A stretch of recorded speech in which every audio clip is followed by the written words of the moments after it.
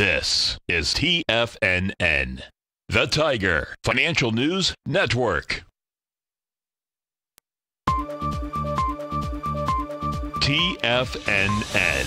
Headline News Update.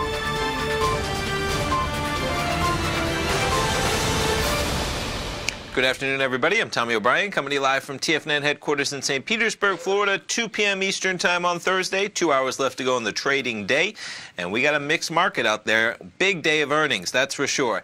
S&P's right now positive by two points, trading at 29.33. You get the Dow negative 77 points, trading at 26,521, and the Nasdaq positive by 28 points, trading at 81.30. Quite a number. As we start things off, let's jump over to the futures markets. We'll start it off with the S&P. So quite a roller coaster in both directions this morning. 845 this morning. We're trading at 29.34, essentially where we're trading at almost right now.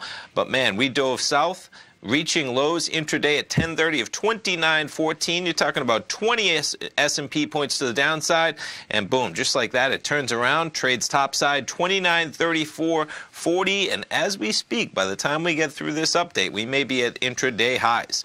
NASDAQ 100, not quite up to the levels that we're at this morning, but it's bounced as well. Low earlier today, 77.93. We're now up more than 55 points from that level, trading at 78.49 the NASDAQ.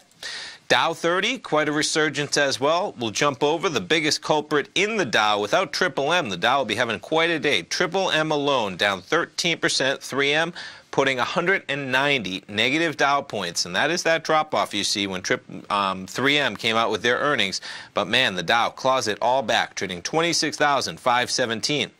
Crude oil under $66, trading 65.75. Gold contract under 1280, trading 1279.28. And natural gas, we got EIA numbers at 10:30 this morning. There's your volatility. We start that number out as in we're trading at 249 prior to the inventory number.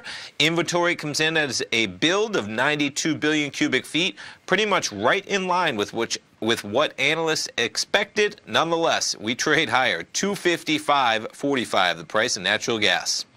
As I mentioned, the culprit in the Dow, there's the impact that 3M is having. So 3M alone, negative $27 on the day, about 13%, accounting for 190 points in the Dow. On the flip side, you got Boeing adding 60 points, Microsoft putting in 31 to the positive, Disney 20, American Express 15.